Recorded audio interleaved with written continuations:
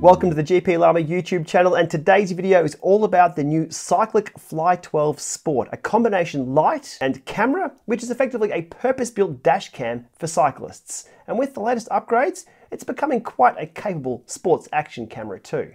Now this is the third generation unit of the Fly 12 range, and after a few weeks of use, I'll give you my take on what it's all about. First up, on the technical specifications, of this little unit here. Resolution can now record up to 4K resolution at 24 frames a second. You can also record at 1440, 2.7K at 30 frames a second, which is the sweet spot for this little unit here. You've also got 1080 at 30 or 60 frames a second and 720 at 120 frames a second. It has electronic image stabilization, which is optional. All my testing has been done with it on, and you'll see that footage in just a few moments. The storage on this little unit has a micro SD card, comes with a 64 gig card. They claim a maximum of 256 will be supported, but I believe a 512 will also work. However, it may be a little slow with indexing a lot of files on there with such a large card. They claim up to a seven hour battery life on this unit, but that really does depend on the configuration you choose to go with. More testing and results on that later on in the video. The charging and data interface on this unit is a USB-C port. It has a rear OLED status screen on the back and a status LED for quick view of what's going on. Obviously it has a front light with multiple modes. The waterproof rating is IP56 which according to the IP standards, protected from limited dust ingress, protected from high pressure water jets from any direction. One thing of note is there's no ANT Plus light support for this unit as there was with previous models. It has idle detection, so 15 minutes of inactivity, the thing will turn itself off. It has incident detection, so any more than 30 degrees in this direction, 60 degrees in this direction for more than five seconds. The current video recording and the previous one will be locked and won't be overwritten. Now the scenario there is, let's just say you're involved in an incident, you're separated from your bike, the camera's still turned on, nobody's pressed the buttons to save or lock the footage or even turn the camera off, your bike may be transported somewhere else and always moving, that incident footage will be saved on here and locked away, not overwritten. As inferred there, it does have the looping recording functionality on by default, meaning that when the SD card fills up, it will overwrite the oldest footage first, but not the locked away footage that's stored elsewhere and not overwritten. This unit will also work with the USB-C cable plugged in to a power bank. Onto the pricing just quickly, US 319, Euro 359, 299 pounds and 449 Aussie dollars over on cycliq.com.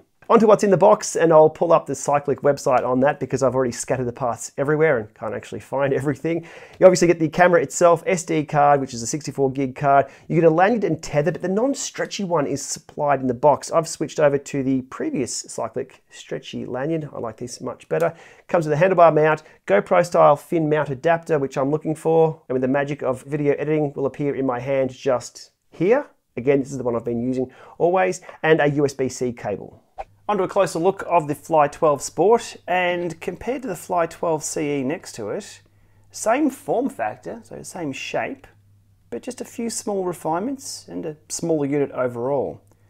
So the buttons have been changed, two buttons here, three buttons here.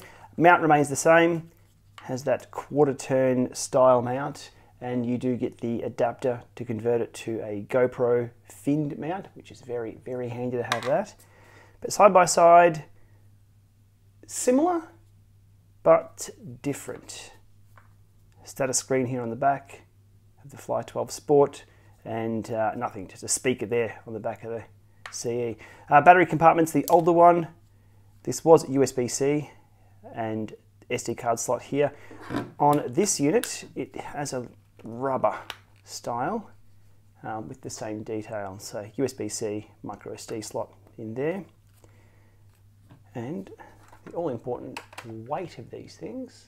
Oh, one thing to note too, and you'll see this later in the video, the size of the light is bigger on the old unit than the newer unit. And yes, that means this is brighter on the road. Okay, Fly 12 Sport weight coming in at 150 grams. It's the new one. The older unit, the Fly 12 CE, 196. And as a comparison, GoPro Hero 10, now this is an action cam, not quite in the same league as these for what they do. Obviously, this is a higher quality camera and optics and things like that. This isn't really a safety camera, but people use them for the same reasons. 152. So 152 versus 150, it's actually lighter than a GoPro. That is a significant improvement over this weighty little hippo here. And as per the tech specs, the Fly 12 Sport comes with a 64 gig card that's actually usable. Not a 16 gig card we've seen with some other cameras lately. So that's actually a win right there. A card with enough usable space to be handy. A quick look at the display on the back of the Fly 12 Sport. Uh, there's no SD card in there at the moment. It's a low powered screen, so it's probably going to show a little flickery there on screen, but you can get a status of the camera while it's in use, and you can flick through a few different modes and things by pressing this button. So format the card, factory reset, serial numbers and things. And if you want to rotate the camera, press and hold, and you can get the orientation set without pulling out the app. Configuration is via the Cycliq Plus mobile app. We'll pull that up here and you'll see that the Fly 12S appears to be offline and I can't hit connect. That's because the Fly 12S doesn't have a broadcasting mode when it's sleeping, it's turned off. Unlike the Fly 12 CE shown there on screen, which I can connect to, I'll first need to turn this Fly 12S on then scan for it, and from here we can connect. Okay, so it's recording by default. We'll switch that off for now. Battery 42%, lock files, 5% of the SD card settings is what we're after. Video configuration 2160, 24 frames a second, that's 4K. 1440 is the sweet spot at 30 frames a second, and there's the other modes listed there too. Stabilization can be on or off, video segment length, and also logo and timestamp can be disabled if required. Back on that, light configuration. Here's my preferred light modes high, low, or off. For me, flashing modes or pulse modes have no place on the road. If all the cars or other vehicles on the road drove around with flashing lights, it would be very, very distracting. As a car driver, as well as a cyclist, I find flashing lights very distracting. So the first thing I've done here is removed or disabled all the flash modes. There's also organic mode there, which means that if your Fly 12 Sport happens to order a coffee or any food from a cafe that you're at, it will be all ethically sourced and most likely vegan. Actually, just kidding. It's got something to do with the flashing pattern varies continuously in both intensity and duration, designed to hold the attention of other road users while minimizing battery usage. Well, for me, I just want to be seen. I don't want to hold people's attention. So that's why I go high, low, or enable light off mode if I choose not to have the light on. Sound wise, we can have the beep intervals. Well, I turn those off. I don't want the thing beeping. And volume level medium is typically okay. System configuration, incident mode on, idle mode off for the testing that I was doing, sync date and time, and format micro SD card. You can also do that from the menu on the device itself with a little OLED display. And once all configured, that's about it. We hit disconnect and it's just simply pressing the power on and power off at the start and finish of our rides. Okay, finally out on the road for some field tests of this camera to show you what it looks like out on the bike in real world riding scenarios. Now, I do have to make note that uploading footage to YouTube is compressed and recompressed and shown in different resolutions. So, what you're seeing here isn't exactly a one for one representation. However, it's going to be good enough for what we need to do here. So here we have the Fly 12 Sport in 1440 resolution, so 2.7K or thereabouts in 30 frames a second with electronic stabilization on. And if I was to pause at any point, we can pick out the number plates and detail without much problem whatsoever. So all looking good here. A little further out the road, where things become a little bumpier, the Fly 12 holds up relatively well in such a, well, I'd call a visually complex environment here. So all the detail that it has to capture and compress, it's, uh, it's doing quite a good job of it. Not up to GoPro standards, of course, but again, different camera and different purpose, but it's doing pretty well pulling up a direct head to head or side by side comparison with the older Fly 12 CE on the left and the new Fly 12 Sport on the right, both set to 1080 resolution HD at 60 frames a second. And we can see that over there on the right, the colors are a little bit more vibrant and the detail is a little bit finer on the newer unit. Now, if I was to hit pause right here, we can have a look at the number plates. Now, this isn't about number plate recognition, but number plates are a great thing to use when looking at uh, detail of a camera and what it can capture. And you can see here, obviously over on the right, a little bit more detail, a little bit more easier to read on the newer unit.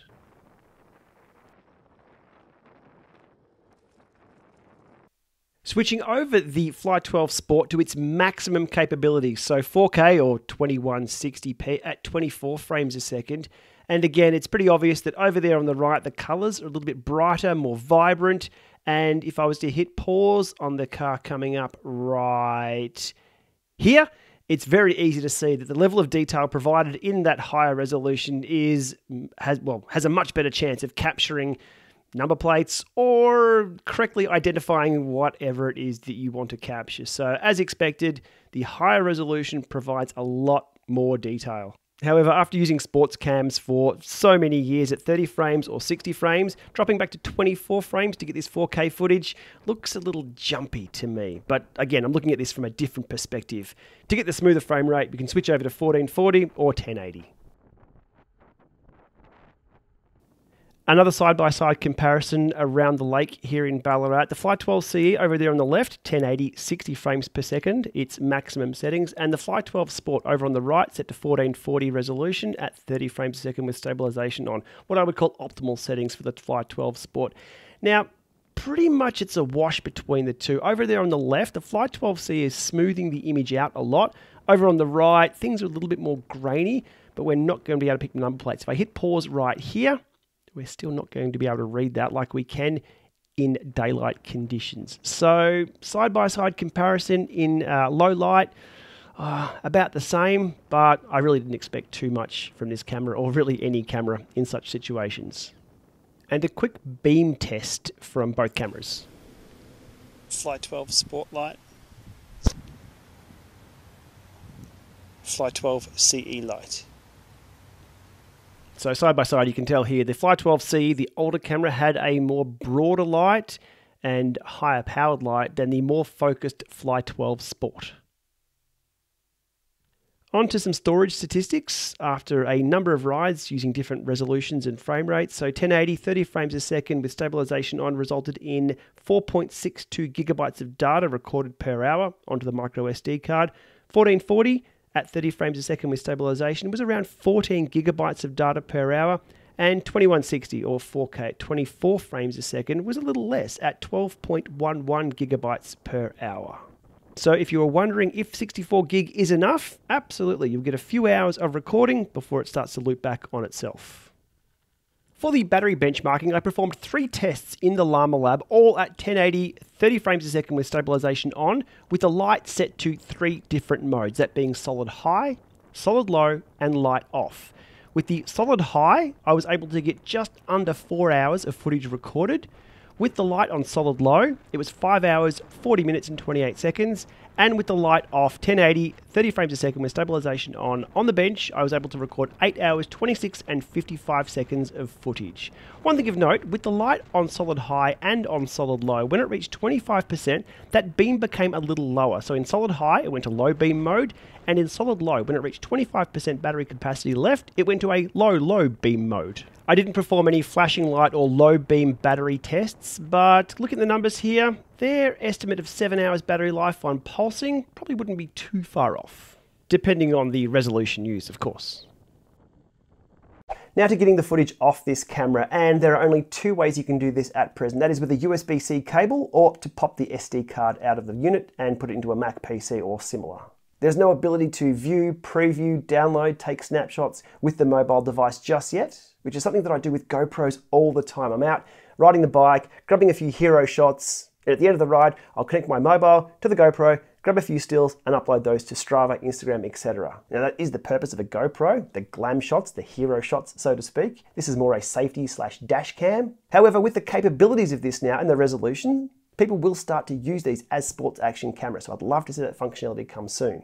Now plugging this directly into my MacBook Pro resulted in this error right here. So for the M1 Max MacBook Pro that I was using, I had to pop the SD card every time I needed to grab some footage off this unit. A problem the older Fly 12CE unit has was that it caused interference with some cycling computer GPS accuracy, most notably the ELEMNT Roam version 1. So here's the Fly 12 CE causing the GPS accuracy to become, well, less accurate. And when switching the Fly 12 CE off, things go back to normal. And here's the updated Fly 12 Sport causing, well, less problems for the Roam V1 GPS. So there have been some improvements made for the internal shielding of this unit. Doing the same tests with the new Roam V2 with its multi-band GNSS, it appears that it's not affected by the old Fly 12 CE interference. Alrighty, we've seen the ins and outs of this camera. Now over to my take, or the notes that I've made over the past few weeks when using this camera. The number one thing is it's simple to use. Once configured, you just power it up and ride. You can forget about it. You leave the 64 gig card in there, it will loop over the recordings until the day you need to pull some footage from it, at which point I plug it into the PC or Mac, and away I go. The smaller form factor is a plus, there's less bulk than the previous Fly 12 CE, and it's effectively the same weight as a GoPro Hero 10. The camera is really good in daylight, using the 1440 or 2.7K resolution, 30 frames a second stabilized, that was good. Not quite to GoPro standards when it comes to what they do with resolution and hyper smooth and horizon lock, but those cameras are for a different purpose and at a much higher price point. The battery life is good without using the light.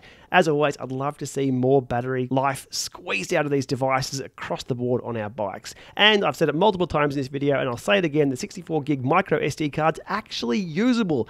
It's not 16 gig. Look, the lack of Ant Plus light support isn't ideal. It would be nice to have that integration just simply for the low battery warnings that you'd get on your head unit when this thing gets a little close to being flat. The light on the Fly 12 Sport not being as bright as the CE is another downside as well, but I guess this is a compromise for having a smaller unit and getting more battery life out of it. The design of the light is to be seen rather than to see at night. And that low light performance, well, like most cameras, isn't ideal.